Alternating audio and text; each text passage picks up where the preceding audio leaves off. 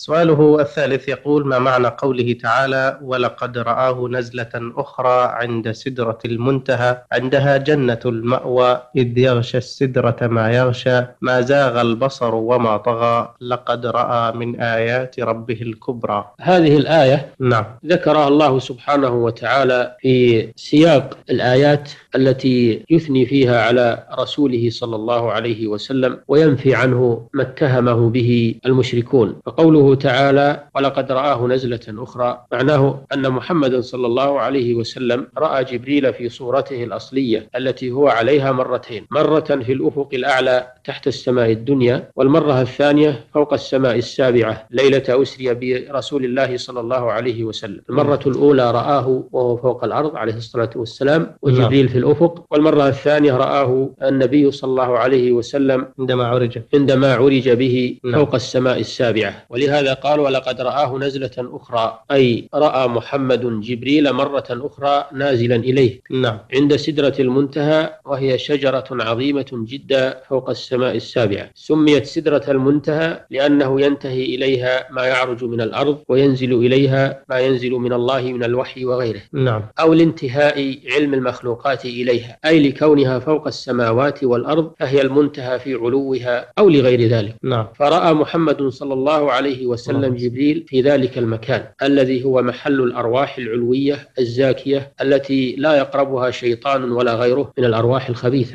عندها أي عند تلك الشجرة جنة المأوى أي الجنة الجامعة لكل نعيم بحيث كانت محلا تنتهي إليه الأماني وترغب فيه الإرادات وتأوي إليه الرغبات. وهذا دليل على أن الجنة في أعلى الأماكن وفوق السماء السابعة. قوله تعالى إذ يغشى السدرة ما يغشى أي يغشاها من أمر الله شيء عظيم. لا يعلم وصفه إلا الله عز وجل. ما زاغ البصر أي ما زاغ بصر محمد صلى الله عليه وسلم يمنة ولا يسرة عن مقصوده. وما طغى أي وما تجاوز البصر. وهذا كمال الأدب منه صلوات الله وسلامه عليه. أن قام مقاما أقامه الله فيه ولم يقصر عنه ولا تجاوزه ولا حاد عنه. وهذا أكمل ما يكون من الأدب العظيم الذي فاق فيه الأولين والآخرين. فإن يكون بأحد هذه الأمور إما أن لا يقوم العبد بما أمر به أو يقوم به على وجه التفريط أو يقوم به على وجه الإفراط أو على وجه الحيدة يمينا وشمالا. وهذه الأمور كلها منتفية عنه صلى الله